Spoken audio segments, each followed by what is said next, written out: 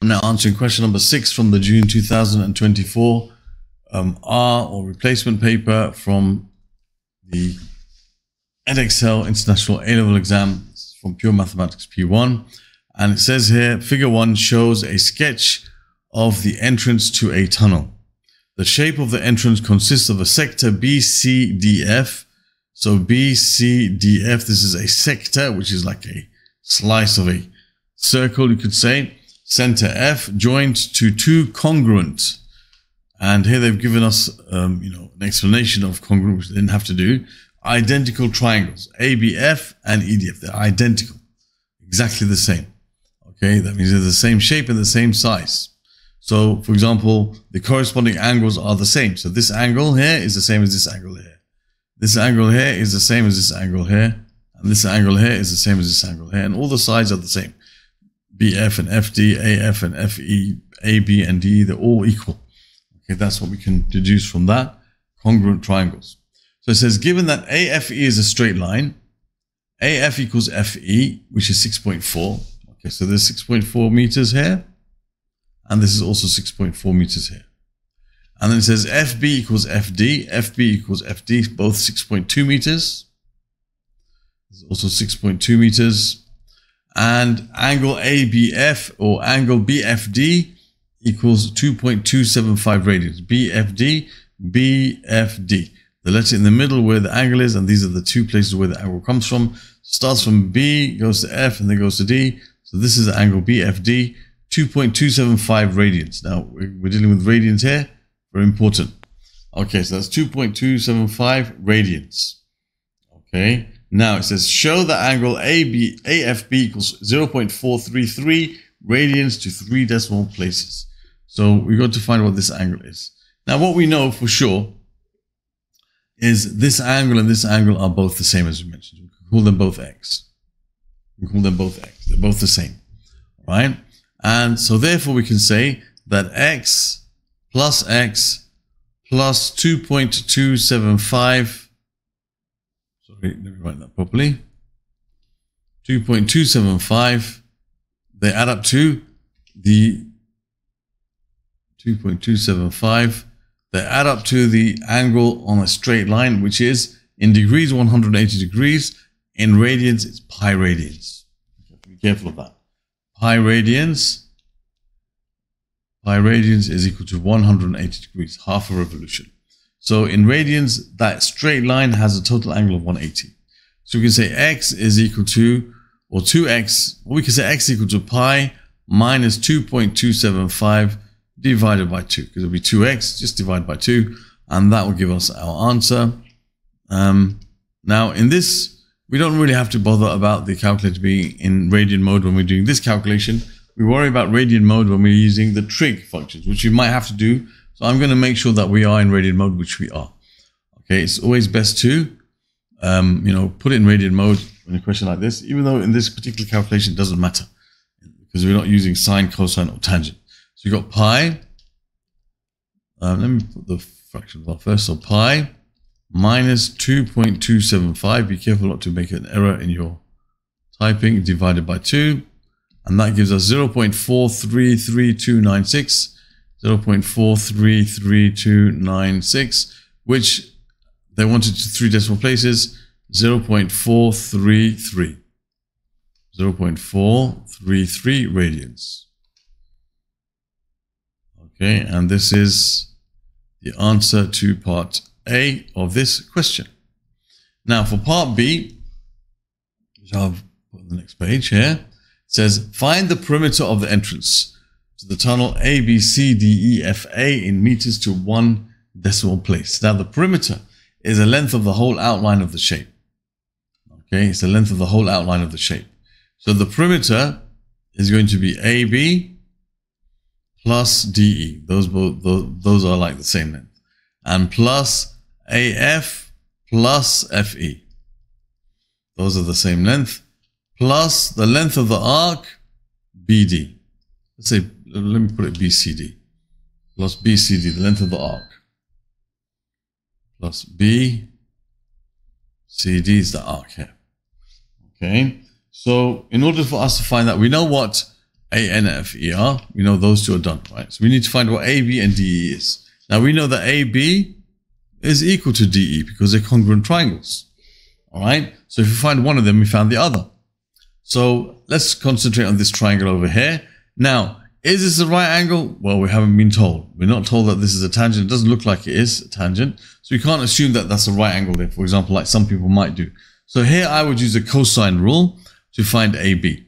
Okay, so I know that AB is going to be equal to DE, which is going to be equal to the square root of, and we know for the cosine rule, we're going to use these two sides. We're trying to find that side, so you have 6.2 squared plus 6.4 squared minus 2 times 6.2 times 6.4 times the cosine of the angle between them, which is 0.433. Okay, so remember, it's the cosine rule is given like this. a squared equals b squared plus c squared minus 2bc cosine a. So what I've done, I've just made this as a square root like that. And these two are the two sides that make the angle. And this is the angle between those two sides. And this is the angle, the, the side we're trying to find. Okay. So this will give us the length of AB and also DE. Okay. And we have, this is where we must be in radian mode. Why? Because we're going to be using cosine. So I have this angle already saved in here. So what I'm going to do is this. That's like answer now. So I'll put square root 6.2 squared plus 6.4 squared minus 2 times 6.2 times 6.4 times 6.4 times the cosine of the answer. Okay, and that should give us our length so AB equals DE equals 2.71549. 2.71549. So now we all we need now also is the length of the arc BCD. Now what we know is about length of arc is given by the formula R theta when theta is in radians. Some of you might be confused by this. Oh, I remember length of the arc is theta over 360 degrees times 2 pi r. That's the length of an arc of a whole circle, as you learned in IGCSE. But when we're dealing with radians, this becomes 2 pi radians, and the 2 pi cancels with the 2 pi. So when theta is in radians, you're left, just left with r theta. Nice simple formula. So r is the radius, which is 6.2. That's the radius of this circle or this sector. And um, the angle, as we were told, is 2.275. That's already given. So that gives us the answer to this. Okay. So that's the length of the arc. So what I'm going to do now, this answer is already in the calculator here. So what I'll do is, um, I'll just leave it like that for now. And I'll say, therefore, we can say the perimeter is equal to AB plus DE, which is 2 times 2.71549. So I'll leave this in its more accurate form. Plus AF plus FE, which is 2 times 6.4. Okay. Plus BCD, which is 6.2 times 2.275. Okay, so that's BCD and that's those other two lines. So you've got one, two, three, four, five, two, four, five. That's right. So now I can put this all in the calculator in all exact forms and we'll get nice exact answers. So this I multiply by two. So this times two plus two times 6.4 plus, and this is the length of the arc, 6.2 times 2.275. And that should give you um, 32.3359. Was it 32? Yeah. 32.3359. And we want the answer to one decimal place. So 32.3 meters. Perimeter is just a length. So that will be in meters. Let's just make sure of that. I wrote it down correctly.